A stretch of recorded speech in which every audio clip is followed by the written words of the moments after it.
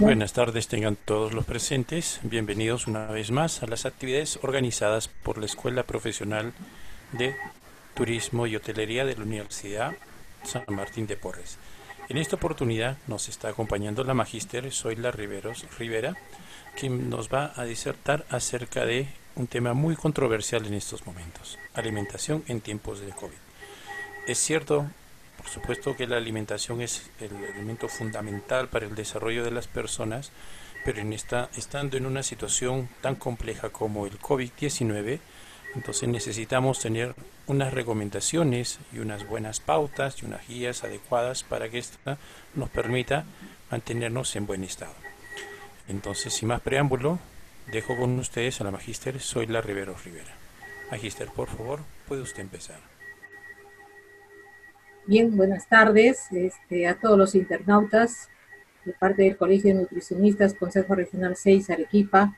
Agradecemos la invitación que nos ha cursado la Universidad San Martín, siempre en busca de del bienestar o de estar eh, al día en los temas que, nos, eh, que, son noticias. Bueno, a nosotros nos ha tocado este, darles algunos consejos sobre la alimentación en tiempos de COVID. Ustedes habrán escuchado normalmente que se dice que hay que reforzar el sistema inmunológico, que, tal o cual nutriente. Entonces vamos a ver qué son los nutrientes, vamos a dar una introducción y van a poder entender por qué es importante la alimentación. Bueno, ¿qué es una alimentación? Lo tienen ahí ustedes este, hay una, joven, igual que ustedes, la mayoría de jóvenes que nos están viendo, eh, con un, comiendo, ¿no? Y eso es la alimentación. La alimentación es el acto de proporcionar alimentos a nuestro cuerpo. Entonces tenemos que entender que el organismo necesita insumo para trabajar bien. ¿no? Yo siempre pongo el ejemplo a mis alumnos este, que nosotros no somos plantitas, a las plantitas les echamos agua y ellas se absorben los pero los, los humanos, las personas, necesitamos el insumo que se ha introducido a través de la boca, que se llama alimentación, ¿no? Ese proceso. Como les dije, es un proceso consciente y voluntario, por lo tanto, está en nuestras manos modificar. Hay eh, malos hábitos que este, se conservan desde, desde la adolescencia en algunos casos hasta la adultez. Entonces, eh, nosotros con fuerza de voluntad podemos modificar estos hábitos. Entonces, ¿qué es un alimento?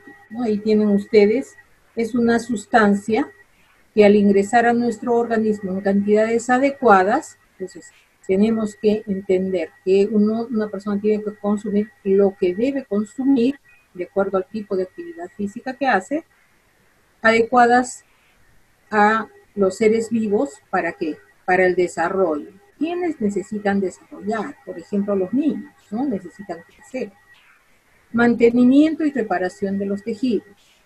Quienes necesitan reparar y mantener los tejidos, los adultos, por ejemplo, y todas las personas necesitamos repararnos.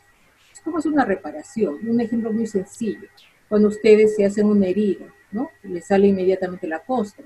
Esa costra es una reparación del tejido, pero para que se dé esa costra, se dé la reparación de las heridas, es necesario que uno introduzca alimento, aporte alimento al organismo, ¿no? Pueden ser productos eh, elaborados o naturales, ¿no? Un alimento puede ser un queso, un alimento se llama eh, al yogur, la ventaja es que deben ser eh, susceptibles de ser ingeridos, digeridos y absorbidos por nuestro organismo. Entonces, es importante este concepto porque yo puedo comer, por ejemplo, comida chatarra, que la voy a poder ingerir, se va a digerir, pero no se va a absorber. ¿Qué estamos haciendo ahí? Estamos dándole mucho más trabajo al hígado, a uno de los órganos importantes para nuestro organismo. ¿Cuáles son las funciones de los alimentos? Tienen ahí alimentos, grupos de alimentos, y vamos a ver por qué debemos consumirlos. La primera función que nos aporta es la energía. Este, se ha visto, ustedes mismos habrán notado que cuando están sin tomar desayuno, eso de las 9, 10 de la mañana, como que se aletargan, se cansan. Entonces, esto es provocado pues porque va bajando su energía. El organismo necesita energía, es lo primero que necesita. Entonces, tenemos que en ese momento dar un aporte de energía. Para desarrollar qué? Las actividades diarias voluntarias e involuntarias, ¿no es cierto? Las voluntarias como correr, saltar, pintar, leer. Las involuntarias, aquellas propias de nuestro organismo, como son la circulación de la sangre, los latidos del corazón, algo que nosotros no podemos este, controlar. ¿Qué alimentos nos van a eh, proporcionar eh, la energía? Tienen ustedes ahí el grupo de alimentos, ¿no? todo lo que son cereales, tubérculos, las menestras también, eh, cereales y derivados, las harinas, de la cual se hacen los fideos y se hace el pan, ¿cierto? Entonces, en este grupo pues están todos los alimentos que nos van a aportar energía. También están los, los dulces, las, frutas, porque tienen este, buena cantidad de fructosa. Bueno, los carbohidratos son los que nos van a aportar esta, eh, esta energía que necesita. Y estos alimentos son ricos en carbohidratos. Vamos a ver acá la otra función, ¿no? la función formadora. ¿Qué ven ustedes? Entonces ven los alimentos que están construyendo una pared. Y esa es la función formadora de los alimentos. Aumentar masa muscular, producir el crecimiento de los niños. Eh, por ejemplo, en una persona, una persona, una joven que quiere aumentar su masa muscular, lo primero que tiene que hacer es comer. Comer alimentos ricos en proteína sirve para la construcción del organismo y su, consiguiente mantenimiento y reparación de los tejidos. Para ello están las proteínas. Encontramos proteínas principalmente en los alimentos de origen animal, pollo, leche, huevos, pescado, queso, yogur, carnes. Y también en las menestras, pero son proteínas de origen vegetal y la función regulador. ¿Por qué se llama regulador? Porque hace que el organismo funcione bien, ayuda a que el organismo funcione bien. Esta función la tienen las vitaminas y los minerales que se encuentran ¿dónde? En las frutas y las verduras. ¿Cierto? Entonces, ahí dice, son indispensables. Y ahí radica el eh, interés y la importancia que debemos prestar a las vitaminas y minerales, frutas y verduras. Entonces, ustedes habrán escuchado, como les dije al comienzo, que eh, las, eh, hay que reforzar el sistema inmunológico.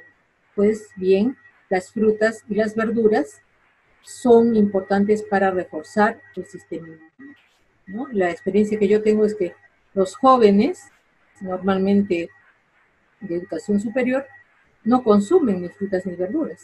Entonces, ahí hay un problema porque su sistema inmunológico va a necesitar en estas circunstancias y para toda la vida frutas y verduras. Otro elemento importante también es el agua, ¿no? El agua es el regulador por excelencia. Nosotros necesitamos agua para hidratar nuestro cuerpo, para hidratar nuestras células y para eliminar las sustancias de desecho que hay en nuestro organismo. Entonces es importante el consumo de agua. Entonces, ¿qué es comida chatarra? la comida chatarra, porque eh, tenemos que mencionarla, es cualquier producto que está alto en grasa, en azúcar y en sal, ¿no? Normalmente, este, esta es la alimentación que prefieren los jóvenes, pero lastimosamente esta, estos, estos, esta comida chatarra eh, no aporta elementos suficientes que pueda utilizar el organismo. Entonces, eh, va a utilizar, va a tener mucha grasa, pero esa grasa saturada que se va a pegar en las arterias con el tiempo. Va a tener mucha azúcar, les voy a explicar en un momento. El azúcar impide la absorción de las vitaminas. Entonces, si este, consumimos mucho azúcar, eh, por gusto eh, estaríamos consumiendo las frutas, las verduras que tienen buena cantidad de vitaminas. Entonces, no se, no se absorben esos nutrientes. Entonces tienen ahí otra, otra imagen que les parecerá muy, muy agradable a algunas personas, a algunos jóvenes, pero lastimosamente tenemos que analizar qué es lo que estamos consumiendo.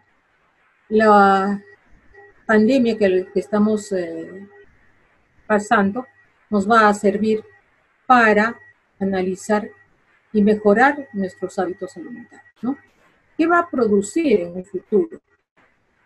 Va a producir, por ejemplo, anemia, diabetes, hipertensión arterial, que suba la presión con el tiempo, enfermedades cardiovasculares o incluso problemas a nivel del eh, intestino delgado, ¿no? El cáncer.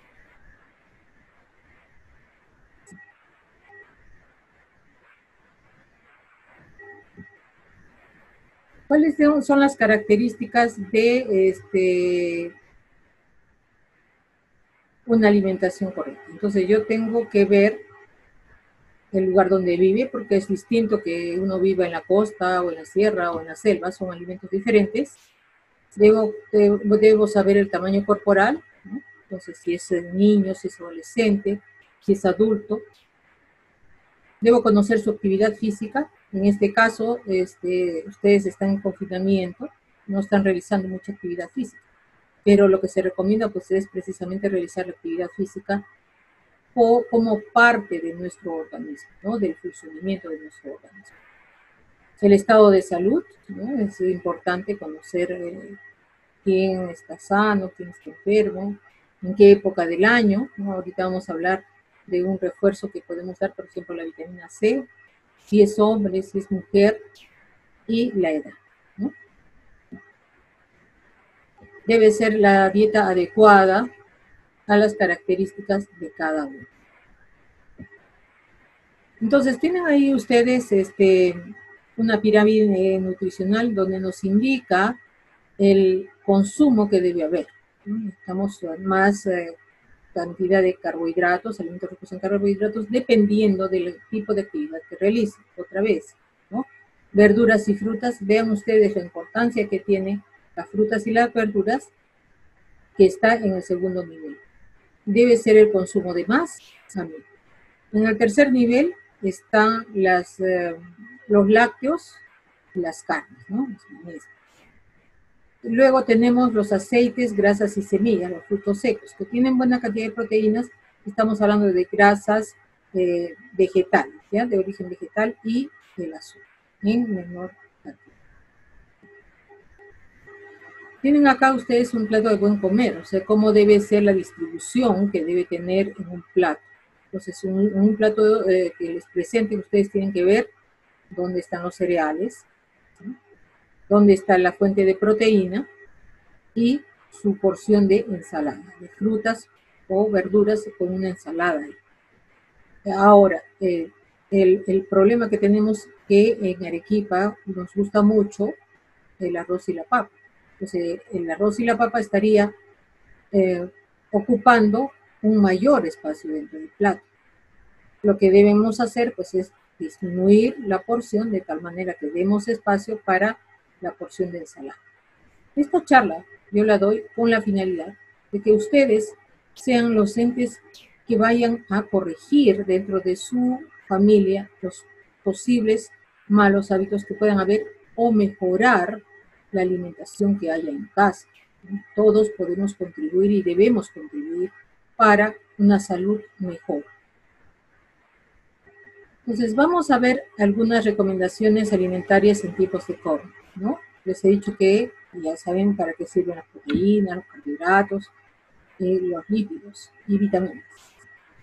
Consumir por lo menos tres veces al día productos lácteos, de preferencia descremados o semidescremados. ¿Por qué? Porque nos está haciendo mucho ejercicio, mucho, mucha actividad física y los lácteos eh, nos van a aportar calcio y nos van a aportar eh, proteínas. Comer menestras al menos dos veces por semana. Las menestras nos van a dar carbohidratos y las menestras nos van a dar proteínas. Entonces, el sistema inmunológico que nosotros tenemos, eh, han visto la, la, prueba que, que, es las inmunoglobulinas, ¿no? Cuando, da positivo o negativo, esas son nuestro sistema de defensa. Y las inmunoglobulinas son proteínas. Comer al menos dos platos de verduras y tres frutas al día.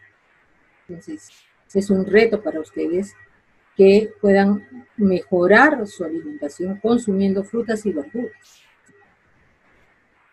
Aporte de las vitaminas. Refuerza el sistema inmunológico.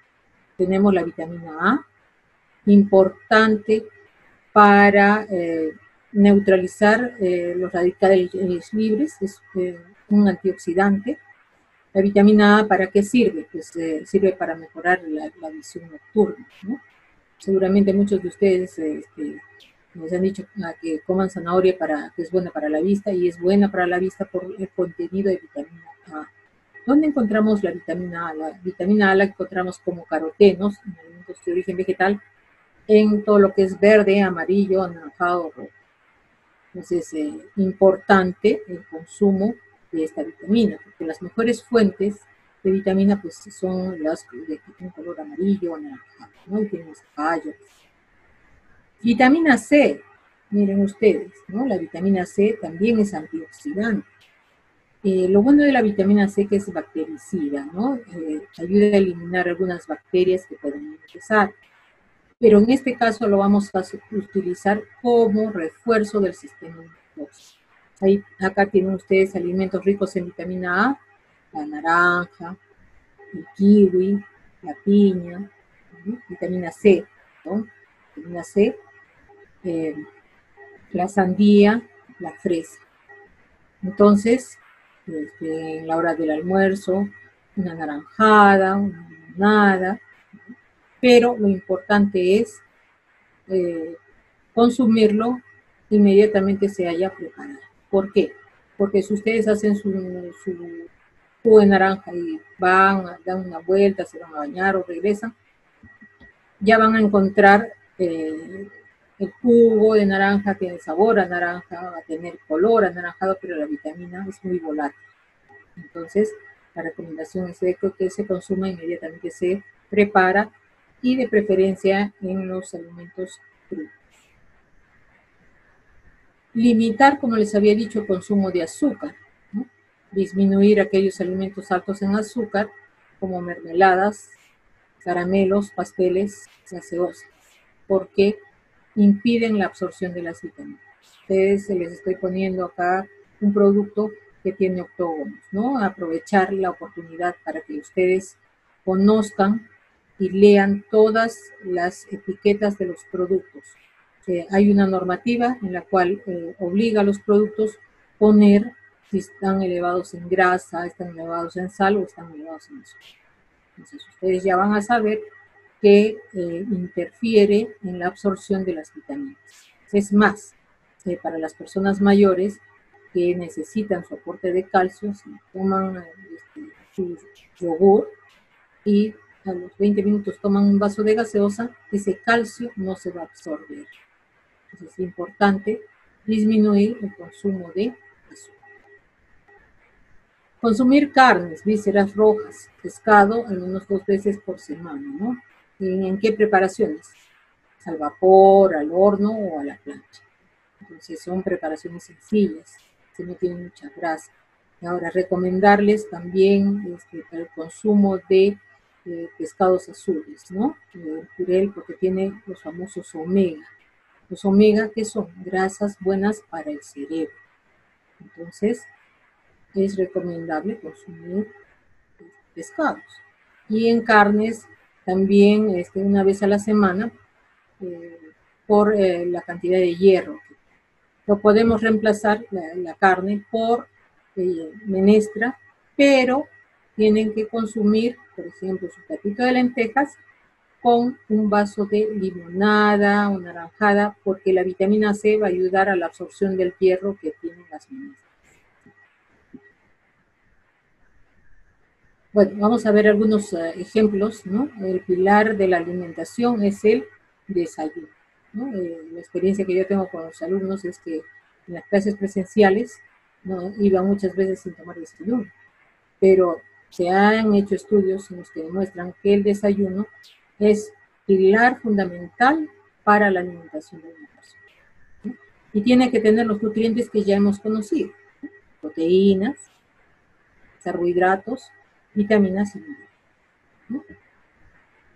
Por ejemplo, puede ser un lácteo, puede ser un vaso de leche, puede ser yogur, queso, cereal, puede ser galletas, pan, pan integral. ¿Y qué nos faltaría? Las frutas, ¿no? Las vitaminas y minerales. Tenemos acá las proteínas, los carbohidratos, las vitaminas y. Ahora hay que variar, ¿no? Podemos variar un día con, huevo, con jamón o frutos secos. La alimentación, el secreto de la alimentación es que tiene que ser también este, variada, no puede ser, eh, no es recomendable una alimentación que sea muy monótona, que se consuma todo el Ahí tienen vitaminas minerales, proteínas y carbohidratos. A media mañana, si es que este, se tiene actividad física, puede ser un refuerzo, un lácteo, puede ser fruta y yogur descremado, un sándwich de queso más un jugo, una barrita de cereal más un yogur. ¿Qué tenemos ahí? Carbohidratos, proteínas y, es fruta, vitaminas y minerales. El almuerzo, ¿no? Una ensalada, les había dicho que un plato de una ensalada, un guiso saludable, entonces eh, llamamos saludable pues aquellos que no estén, eh, que no absorban mucha, mucha grasa, ¿no? Y una fruta, otra ensalada. Tienen acá ustedes ejemplos de lo que puede ser una ensalada de atún con lentejitas guisadas, su arroz, su fruta, puede ser una naranja. Acuérdense del hierro, ¿no es cierto? Para que se absorba mejor. Una ensalada mixta, un pollo al horno con papa dorada, su fruta y su naranjada. Un pescado frito con su papa al horno y una ensalada, una fruta, agua de piña. Una hamburguesa casera, puede ser a la plancha, puede ser con queso fundido. Ahora, nosotros no consideramos este, que la hamburguesa sea una comida chatarra siempre y cuando sea una hamburguesa casera, donde uno lo prepara en casa, ¿no? que sabe cómo está preparando. Eh, hay eh, empresas que preparan sus hamburguesas, las traen con la receta súper secreta desde Estados Unidos, donde nadie sabe el componente de esos productos no sabe qué tipo de conservantes le pone. Entonces, lo que estamos recomendando pues, es una hamburguesa casera, una hamburguesa saludable, a la plancha, donde no tiene mucha grasa, su ensalada, que puede ser una ensalada que uno guste, puede ser eh, su fruta y su agua. Ahora estamos recomendando agua hervida fría. La mayoría de gente le tiene miedo al agua, pero si uno la hace hervir, la enfría, es una buena alternativa porque nuestro cuerpo necesita Su ensalada, su guiso y su postre, lo estábamos mencionando. Y la cena debe ser más liviana que el almuerzo. ¿Por qué? Todo tiene su... Porque en la cena, después de la cena, nosotros vamos a descansar. Entonces, debe ser un poco más liviana. Debe ser su ensalada, su guiso y su fruta, pero en menor cantidad, ya no el carbohidrato o en poca cantidad, que puede, eh, y su fruta, como está haciendo frío, puede ser una fruta cocida, una manzana al horno, que se puede consumir. Los horarios, importante no hay que saltarse los horarios de alimentación, ¿no? Este, hay un refrán que dice, desayunar como rey, almorzar como príncipe y cenar como mendigo. Pero en nuestro medio hacen exactamente al revés, ¿no? No desayunan, almuerzan más o menos y en la noche es donde comen más. Entonces, ese es eh, un mal hábito que uno debe cambiar porque después de la cena uno se va a descansar. ¿De cuándo y por qué uno debe tomar un desayuno? Eh, eh, adecuado, porque de ahí se va a hacer todas las actividades que uno desarrolla durante el. En almuerzo también, ¿no? Después del almuerzo uno va a estudiar, va a trabajar, entonces en la noche debe ser una porción liviana, ¿no? En el desayuno lo ideal es de, 7 a 9, un refrigerio de 11 a 12, el almuerzo de 2 a 3 y la cena de 7 a 8. Y les he puesto especialmente los horarios, ¿por qué? Porque eh, no es recomendable saltarse ninguno de los horarios de eso también es un mal Alimentos que se deben evitar. Eh, acá este, voy a hablar que a los chicos les gusta mucho pues las papas fritas, los chocolates, galletas, la mesa, las cremas, eh, carne de cerdo y cordero, eh, teniendo, se puede admitir hasta una vez por semana, pero teniendo en cuenta la, preparación, ¿no? lo que son chocman, alfajores, chocolates, pasteles, gaseosa, ¿no? la gaseosa, hagan de cuenta que son 10 cucharadas de azúcar que se estuvieran eh, comiendo. Eso es una gaseosa. Agua, colorante y eso. Pizza, pero no la pizza que ustedes puedan hacer en su casa o le pongan, ustedes la puedan hacer, no. Esas pizzas que están muy cargadas, pues algunos, eh, algunos conservados no se debe reemplazar ninguna comida. No es, no es recomendable. Pues, uno, no porque no tomó desayuno en el almuerzo tenga que comer el doble. No es así. Si uno no tomó desayuno, el organismo se adecuó a esa falta de, de alimento. Entonces, para el almuerzo uno tiene que consumir la misma cantidad. ¿Por qué? Porque el organismo, cuando uno le restringe, le quita un poco, después le da un poquito más y lo absorbe en su totalidad, absorben. Evitar distractores, ¿no? Es, es importante. ¿Qué quiere decir? Que uno debe estar sentado pues en la mesa, eh, compartiendo con la familia y evitar la televisión, el celular, la computadora, que eh, van a evitar no solamente que uno pueda establecer una, una conversación con su familia, sino que distraen el cerebro. El cerebro está concentrado en la cantidad de alimento que uno está ingiriendo para decir hasta aquí nomás suficiente. Entonces los distractores, como su nombre lo dicen, empiezan a distraer el cerebro porque están concentrados en lo que están mirando. ¿Y qué pasa con el consumo de alcohol? Esta, esta charla es eh, muy importante y voy a aprovechar pues, este momento para hablar sobre el consumo de alcohol. ¿no? Bueno, en el consumo de alcohol en jóvenes perjudica el crecimiento porque hay algunos jóvenes que pueden crecer hasta los 21 años, genera un aumento de peso porque son calorías vacías, altera el funcionamiento normal del hígado porque es una sustancia tóxica para nuestro órgano. ¿no? Además, crea una tolerancia a esta sustancia. Entonces, eh, evitar en lo que se pueda el alcohol. Y para que ustedes se den cuenta, tiene acá este, el hígado de una persona con cirrosis y el hígado sano. ¿no? se ve claramente la diferencia entre ambos.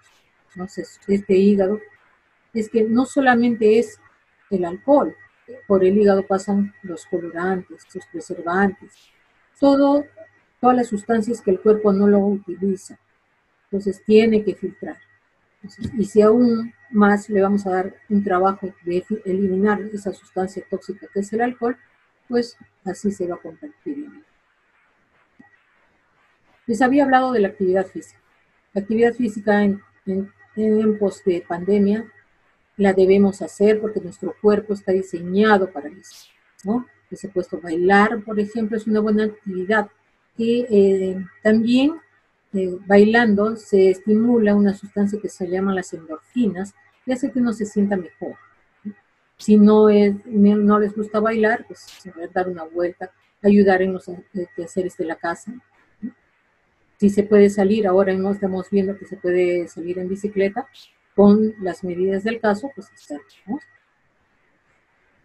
Ya como para terminar, vamos a recordar, consumir diariamente alimentos de cada uno de los grupos de alimentos, especialmente vitaminas y minerales que refuerzan el sistema tóxico mantener los horarios de alimentación, no saltarse ninguno de los horarios. aumentar el consumo de frutas y verduras al natural. Ya les expliqué por qué y ustedes ya saben ahora por qué.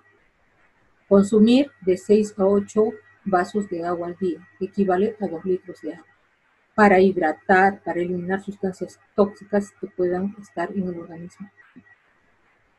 Comer despacio, masticar bien en un ambiente relajado y tranquilo. La hora de consumir los alimentos debe ser una hora agradable, ¿cierto? Pero sin embargo, la experiencia que yo tengo con los jóvenes es que en dos minutos acaban la comida. ¿No? Tienen que dar tiempo a que los dientes hagan su trabajo. Tienen que dar tiempo a que el cerebro empiece a medir la cantidad de comida que se consume. Comer bien no significa comer mucho ni comer caro. Entonces, estamos hablando de los alimentos y ya les he mencionado que deben consumir y hacer ejercicio. Porque nuestro cuerpo está diseñado para estar en movimiento, no está diseñado para estar en reposo. Y por último, quedarse en casa con las recomendaciones. Yo quiero que sea un efecto multiplicador para sus hogares, las personas que están viendo esta presentación. Muchas gracias. Bueno, agradecemos la disertación que nos ha presentado la magíster Zoila Riveros Rivera y a continuación procederemos a hacer unas consultas del caso. Entonces, eh, las personas que deseen hacer sus consultas nos las están escribiendo mediante el chat y, por WhatsApp también y por la plataforma y vamos a ir tratando de responder cada una con respecto al, al tema que se está considerando. También es bueno recordarles que al finalizar de la sesión tenemos una encuesta de satisfacción para que ustedes nos puedan apoyar y mejorar de esta manera la formulación de nuestros futuros eventos. Muchísimas gracias. Entonces, eh, tenemos una pregunta de primera instancia, por favor, para que tomemos en cuenta. Y nos consultan, ¿cuál es la dieta más adecuada para una persona que ya pasó el proceso de, eh, enfrentar el COVID-19? Bien, gracias. Eh, tenemos que recordar que eh, yo les voy a hablar sinceramente, el, que pase el proceso del COVID significa pues que la persona ha sobrevivido a esa enfermedad. Pero lastimosamente este, esta enfermedad deja secuelas a nivel del hígado, a nivel del riñón y a nivel del sistema cardiovascular. Eh, la alimentación que yo les he dado es eh, básicamente una alimentación que lo puede consumir cualquier persona, pero en especial los pacientes que salen del COVID pues van a tener que tener una, alimentación un poco más blanda. ¿No? Nos referimos blanda a aquellos alimentos que pasan un proceso de cocción. Eh, si bien es cierto, yo les he dicho ensaladas, después para personas que todavía no están en ¿no? Pero las personas que, que tienen, están saliendo de este proceso se recomienda pues frutas, verduras cocidas. Alimentos ricos en hierro, ¿por qué? Porque eh, el organismo ha sido dañado, entonces no tienen, no han tenido suficiente cantidad de oxígeno. Entonces, ¿qué alimentos tienen hierro? Pues las menestras, ¿no? este, las carnes, eh, las vísceras rojas, pequeña cantidad, poco a poco. Y los métodos de cocción, eh, de preferencia guisado, ¿no? al vapor, que no tengan mucha grasa pero por lo, eh, por lo demás pueden consumir una, alimentación balanceada, tenga proteínas, carbohidratos, vitaminas y minerales. Lo que se modifica un poco es la consistencia.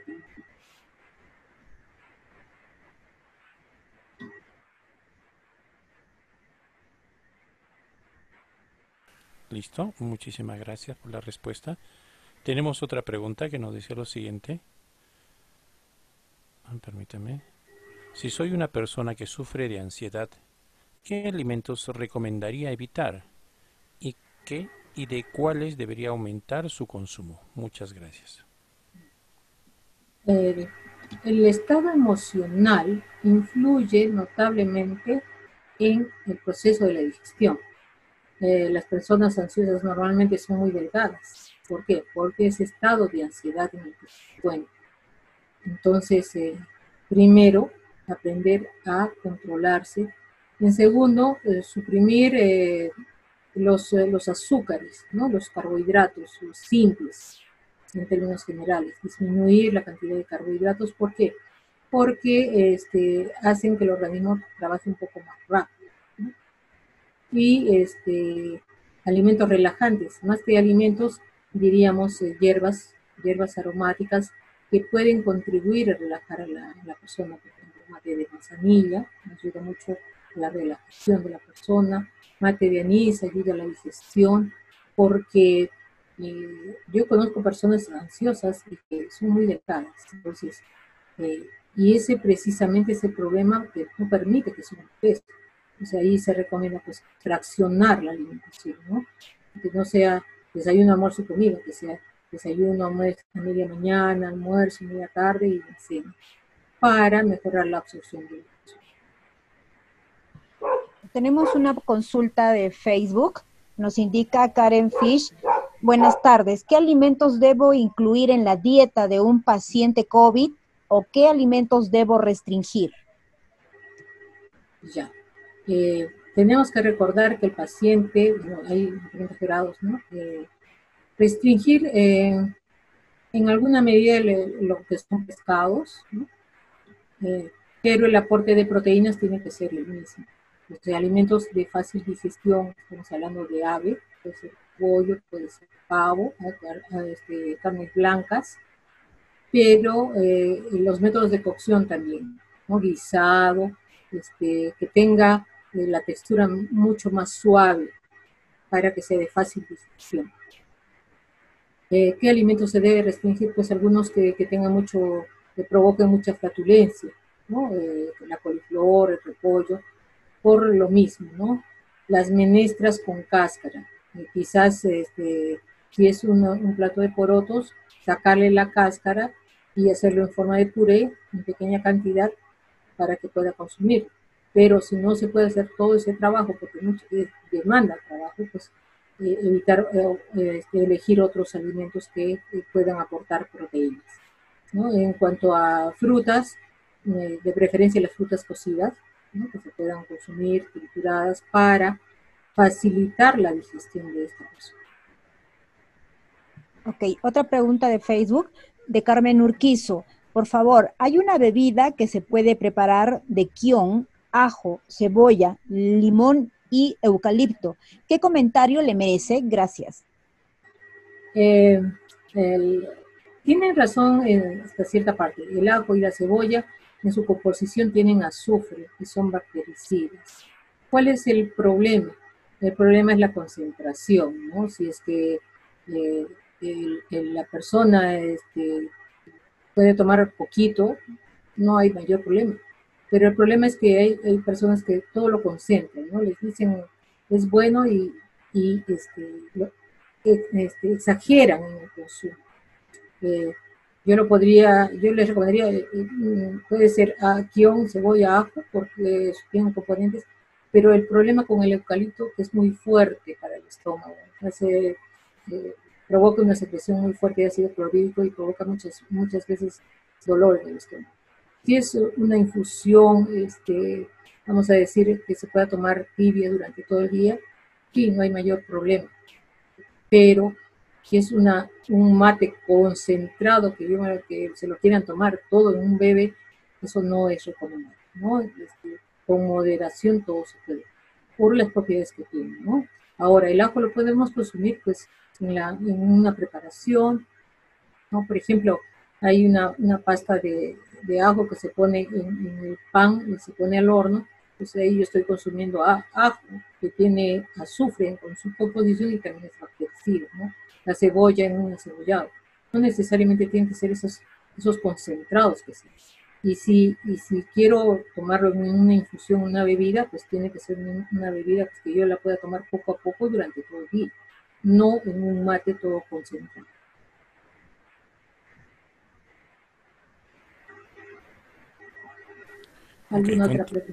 Sí, continuamos con el chat. Y una pregunta nos dice lo siguiente. Sabemos que el alcohol es un estimulante antiestrés. Tomado en exceso es dañino para la salud. ¿cuál sería la cantidad adecuada para beber, ya sea vino o pisco o cualquier otro aguardiente? Ya, este, el alcohol no es estimulante, más bien deprime, podríamos hablar horas del alcohol. Ahora, no todo, cuando hablamos de alcohol, estamos hablando de, todos los, licores, porque, de acuerdo a la experiencia que se tiene, por ejemplo, con la dieta mediterránea en Europa, que les ha ido muy bien, ellos recomiendan una copita, copita de vino antes de los alimentos como estimulante. ¿Por qué? Vino tinto, porque este, aquella, el, el vino tinto tiene taninos que son buenos para la salud, pero una copita si hablamos de alcohol, este, estamos hablando de pues, eventos sociales, ¿no? Eh, yo considero que todo con moderación se puede, ¿no? Nadie está libre de un compromiso, donde tenga que brindar. Eh, el, el, problema está en el exceso, ¿no? Y los jóvenes tienen que aprender a medir la cantidad de alcohol que su cuerpo resiste. Entonces, con mucha pena se ve jóvenes pues, que están en un estado terrible, calamitoso, y es que no saben controlar la cantidad de alcohol que, que consumen. Entonces, uno debe aprender a conocerse. Unas dos, tres copas, este, si ya me siento un poco mal, porque no es de un momento a otro que, que, uno se embriaga, entonces tener su bebida. Eso es por salud. Deben aprender. Nadie dice que no lo hagan, porque conocemos el ímpetu, conocemos este, la juventud. Lo que decimos es que hay que moderarlo. Gracias. Listo. Tenemos otra pregunta más y nos dicen, ¿cuáles son los alimentos más recomendados para nosotros los estudiantes en estos tiempos de tanto estrés y que necesitamos para mejorar nuestra concentración? Ya. Los, este, en términos generales, lo que les he hablado son, eh, yo les he hablado de nutrientes, ¿no es cierto? Proteínas, grasas, carbohidratos, vitaminas y minerales. Entonces, todos tenemos que consumir esos nutrientes, todos, porque eso necesita el organismo. Los jóvenes tienen la gran ventaja de que su organismo es como un carro nuevo, todo funciona bien. El problema radica en que, este, como funciona bien, hay veces como tienen algunos eh, malos hábitos, como omitir este, alguna comida, ¿no es cierto? Los jóvenes a la edad de ustedes pueden consumir toda la variedad de alimentos, no tienen ninguna restricción, alimentos, hago énfasis en esto, y aquellos que les hagan mejorar la concentración, este, alimentos ricos en vitamina B, o alimentos eh, que tengan complejo B, porque eh, la vitamina del complejo B ayuda al buen funcionamiento del sistema nervioso en términos generales, ¿no? Trabaja específicamente con el sistema nervioso. Donde encontramos este, las, vitaminas del complejo B, este, la tiamina, por ejemplo, en todo lo que son cereales integrales, hígado, este, en vegetales lo que son frutas como las naranjas, eh, en este caso puede ser eh, palta y eh, arroz integral, todo lo que tenga galletas integrales, pan integral, todo lo que tenga fibra. Eso va a ayudar, este, eso tiene buena cantidad de, esos alimentos tienen buena cantidad de vitaminas del complejo B. O si no, un suplemento de complejo B que ayuda al sistema nervioso porque todas las vitaminas del complejo B trabajan con el sistema nervioso y con este, el, rendimiento del cerebro. Listo, nos hacen llegar otra consulta. Dice, buenas tardes, ¿qué alimentos debo incluir en la dieta de un paciente COVID? ¿O qué alimentos debo restringir? Mm, ya les había mencionado, ¿no? El, paciente COVID está saliendo de un proceso traumático, dañino, eh, donde este, muchas veces están intubados, están dañándose las cuerdas vocales. Entonces, eh, eh, lo que tenemos que cuidar mucho es la consistencia de los, alimentos, ¿no? procurar que sean purés o alimentos que sean muy de fácil desintegración. Un pollo guisado, eh, picadito, este, fruta cocida, pero que tenga proteínas, grasas, carbohidratos, vitaminas ¿Qué alimentos no deben consumir? Solo por prevención, que no está estudiado, pero lo hacemos por prevención, por, por la cantidad de medicamentos que se están consumiendo, pues los pescados, ¿no? A menos que sepamos que es un pescado muy, muy fresco. Pero por lo demás, este, restringir pues eh, los alimentos, las frutas crudas, ¿no? Las verduras crudas. Pasarlas siempre por cocción. Y si es al vapor, mucho mejor porque hay menor pérdida de vitaminas. Una pregunta de Joe Mark. Eh, ¿Qué alimentación debe seguir una persona asmática para prevenir el COVID-19? Ya. Los eh, pacientes con asma les, este, se les restringe aquellos alimentos que tengan muchos cítricos, ¿no? Entonces, eh, de manera de prevención, como les he dicho, pescado no, es recomendable, eh, nada de, de, naranjas, cítricos, tomate, más que todo por el proceso del asma, que es un tipo de alergia. Eh, pero sí puede consumir otro tipo de frutas, puede consumir manzana cocida, puede consumir plátano, puede consumir carnes, eh, puede consumir pollo, puede consumir pavo, puede consumir este, carnes rojas, vísceras en menor cantidad, pero este, también eh, importante que sea una alimentación balanceada, ¿no? evitar pues todos los cítricos, ¿no? limón, naranja, mandarina, toronja, este, los, pescados a manera de prevención más que todo, y eh, los mariscos tampoco, por, eh, más que todo por prevención, pero sí tiene que tener una alimentación variada, ¿no? que tenga los nutrientes que ya habíamos conversado.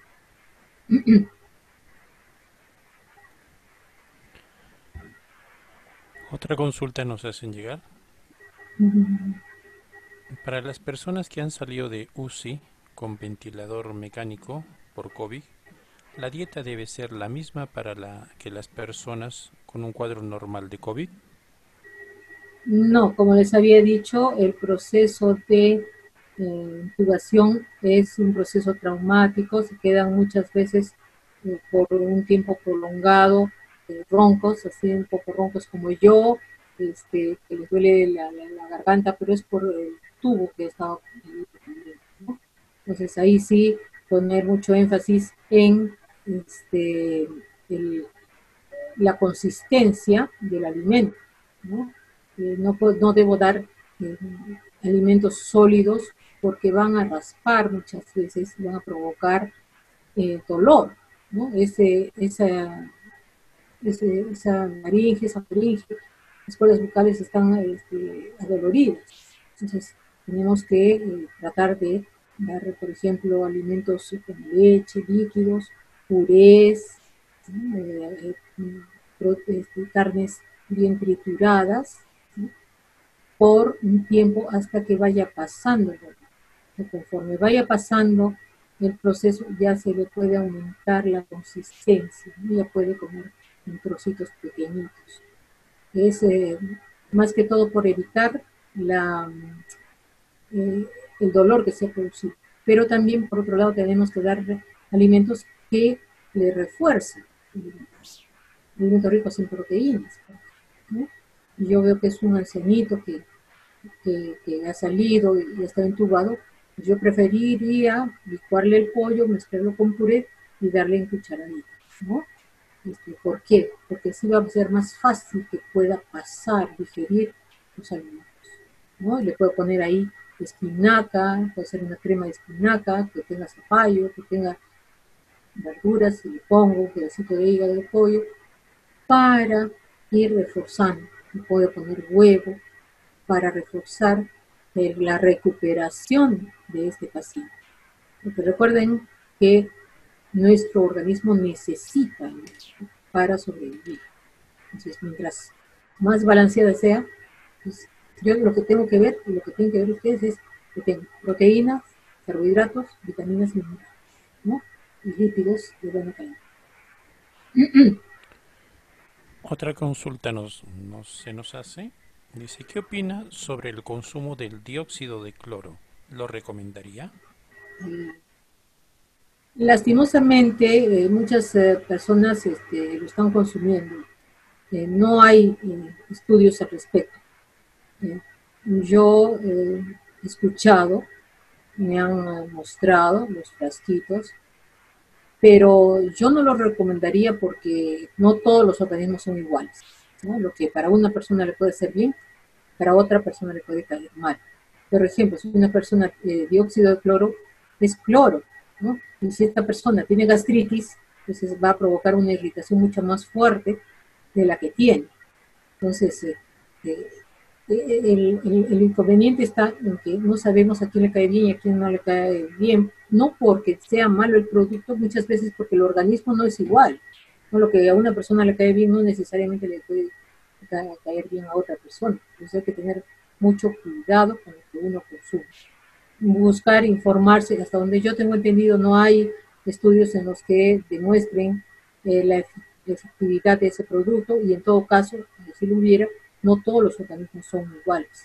Entonces, hay personas pues, que de repente son hipertensas, puede caer mal, alguna persona diabética, este, alguna persona que tenga gastritis, úlcera, no podría consumir ese, ese producto porque tiene cloro, ¿no? Y el cloro irrita de todas maneras.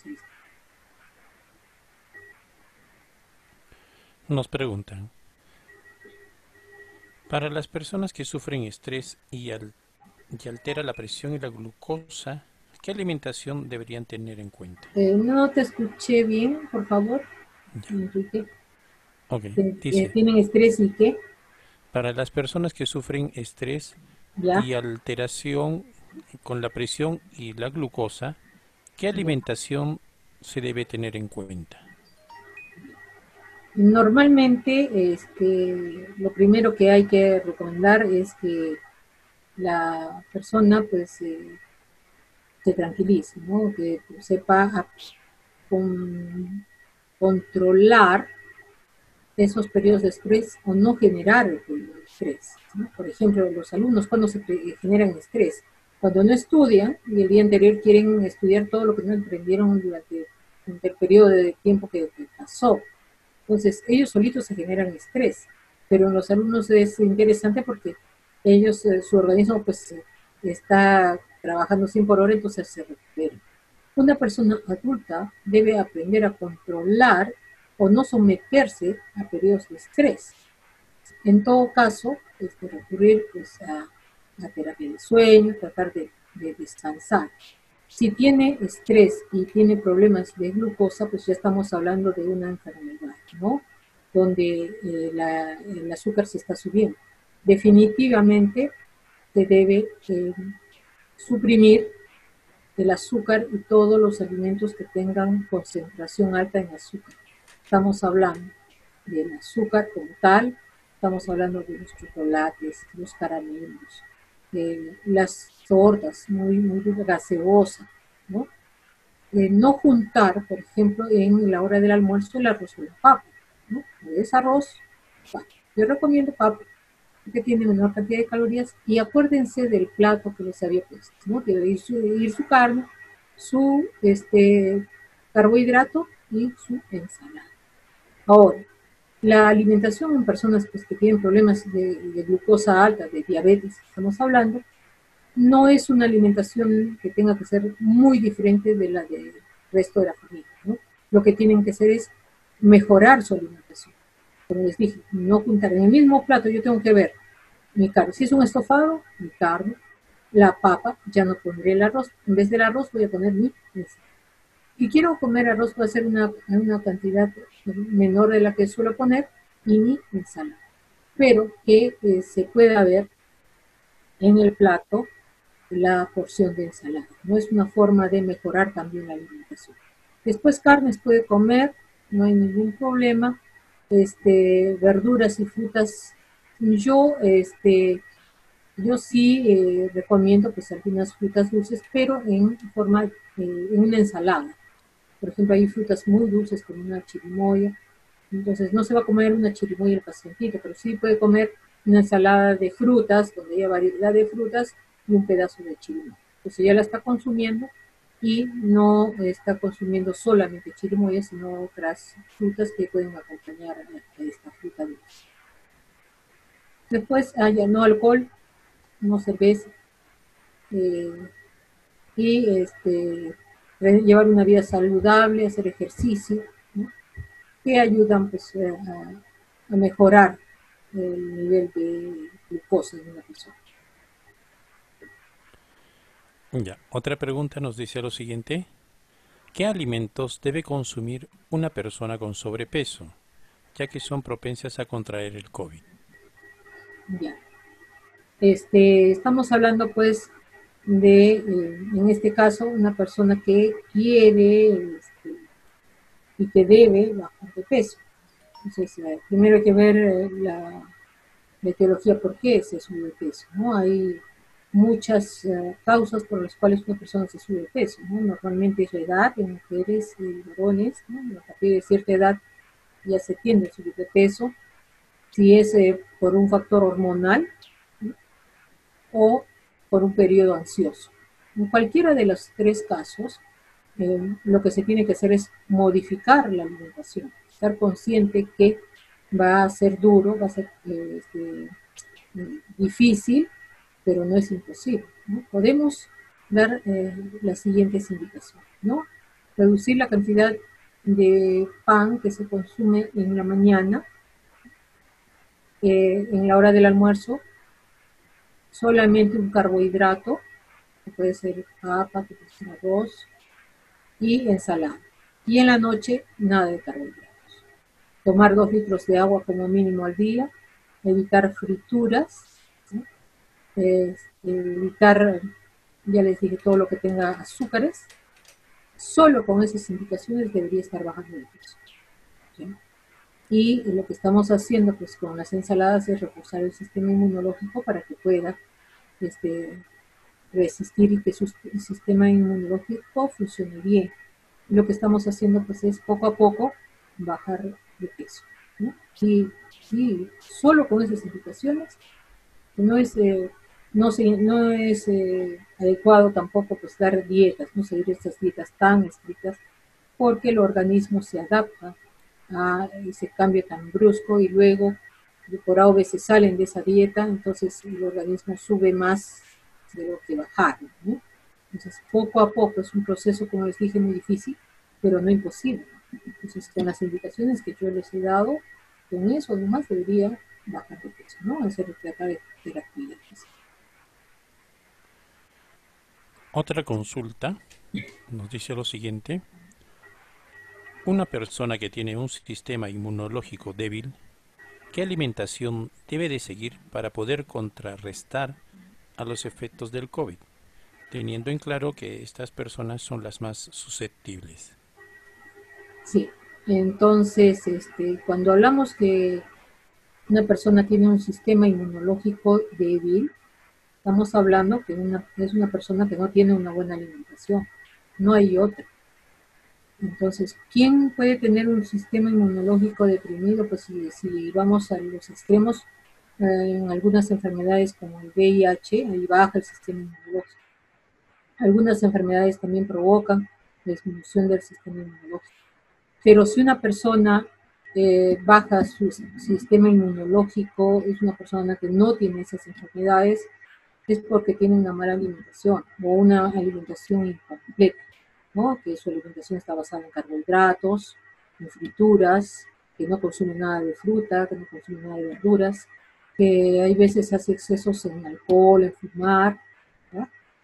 Entonces, eh, cambiar sus hábitos, aumentar lo que son frutas, verduras, comer eh, proteínas, carnes y en, los métodos de cocción también ayudan, ¿no? Este, a la plancha, puede ser pesado, pero definitivamente evitar las frituras en grandes cantidades, este, evitar el alcohol, evitar fumar, porque el alcohol y, el humo, el, tabaco, en términos generales, impiden la absorción de las vitaminas que van a reforzar el sistema inmunológico.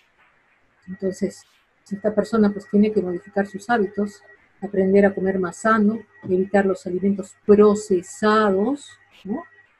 Nada de comida chatarra, esos doritos, chisitos, chistris, que tanto les gusta a los jóvenes, suprimir eso, este, todo lo que sea enlatado, los embutidos, lo que tenga colorantes, todo eso, dejarlo de lado. Dedicarse a buscar alimentos sanos, naturales. Entonces, eso va a hacer que poco a poco su sistema inmunológico vuelva a la normalidad.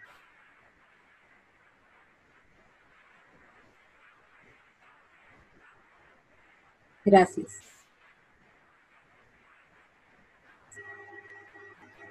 Una pregunta más. Eh, ¿Qué opina del consumo de yogur y lácteos en el caso de adultos? Tengo entendido que no es recomendable beberlos diariamente. Em, hay mucho, mucha controversia con esto de la leche, pero yo hablo de lácteos. ¿Por qué? Porque, como les he dicho, si uno no tiene el aporte, no, este, eh, el, organismo no va a tener de dónde escoger. Si uno no da al organismo el aporte de calcio, el organismo no, no va a producir calcio. Por eso no solamente yo hablo de, leche, porque hay mucha gente que no le gusta la leche. Puede ser yogur, puede ser este, queso, puede ser huevos. Alimentos de origen vegetal, las, eh, oleaginosas, por ejemplo, ¿no? los frutos secos, nueces castañas. Pero sí es importante el consumo de calcio, por eso se recomienda. Ahora, eh, ¿Qué va a pasar si es que una persona no incorpora a su organismo calcio? ¿Qué pasa a partir de los 50? Empiezan a haber problemas de una enfermedad muy conocida, osteoporosis. ¿Por qué se da la osteoporosis? Por la falta de calcio. La cantidad de calcio que necesita el, el hueso es así. Si yo no le doy esa cantidad va a perder calcio y va a haber espacio en la célula y por eso es que se rompe el hueso. Hay más fragilidad en los huesos. Ahora, eh, cuando yo consumo lácteo por el calcio y consumo a la media hora una gaseosa, ese calcio no se va a absorber, impide la absorción. El, calcio va una persona, por ejemplo, y, le dice el doctor, el doctor dice, usted tiene osteoporosis, pero ¿por qué doctor si yo tomo leche, como huevos, queso? Y es importante también no solo el consumo de calcio, sino el consumo de magnesio. el calcio y el magnesio deben ir iguales en su consumo.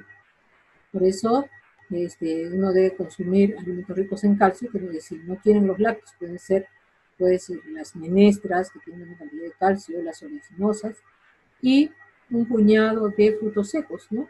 Maní, puede ser nueces, castañas, que tienen buena cantidad de magnesio. Pero sí es importante el consumo de calcio porque eh, si no le doy el aporte, no hay de dónde saque calcio al organismo. No hay a menos que este, tome suplementos de calcio. Si no quiere tomar eh, alimentos lácteos, suplementos de calcio puede ser. Pero yo recomiendo alimentos.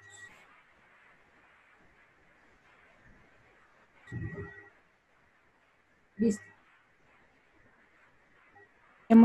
Bien, iremos con la última pregunta. Eh, nos indican, ¿existe alimentos antiestrés? bueno, que yo tenga conocimiento, lo que existen es este, ciertas propiedades que tienen algunas hierbas aromáticas, como la manzanilla, que ayudan a relajar, pero es porque su composición tiene elementos relajantes, ¿no? Eh, existen circunstancias en las cuales pueden relajar, como no exponerse pues, a situaciones que uno conoce que le provocan estrés, ¿no? O no provocar situaciones que le provocan estrés. Por ejemplo, eh, yo siempre les digo a, los, a mis alumnitos, ustedes se provocan estrés ¿cuándo? Cuando no estudien. y quieren hacer lo que no hicieron este, durante un largo tiempo, lo quieren hacer en un eso, eso les genera estrés.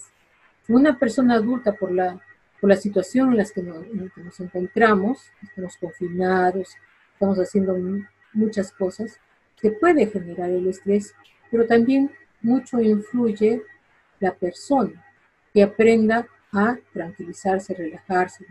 Si me noto o noto que estoy estresada, pues tratar de despejarme. Como les he puesto, el baile es una eh, situación, es un ejercicio que desarrolla serotonina, que hace que uno se sienta bien. Estamos en casa, nadie nos ve, poner música y tratar de despejarse, porque somos una unidad. El estado emocional influye en el cuerpo, en el organismo y en la simulación de los alimentos. Una persona que está estresada no va a digerir bien, una persona que se cólera no digiere bien los alimentos. Entonces, es importante, por tanto, el estado emocional. Si uno no puede dormir, tomar un necesito de manzanilla, si no digiere bien, un mate de, de, anís, por las propiedades que sí están demostradas que tienen esas hierbas. Muchas gracias, hasta luego. Agradecemos entonces de parte de la Escuela de Turismo y Hotelería para poder eh, acompañarnos en esta oportunidad, Magisteres. Soy la Rivero Rivera, agradeciendo a los presentes también, invitándoles a que puedan ustedes eh, compartir con nosotros esa encuesta de satisfacción y también reiterarles que el día lunes tenemos otro evento también muy particular. Muchísimas gracias, muy buenas tardes a todos. Que tengan buen día. Gracias. Gracias, Magister Soyna.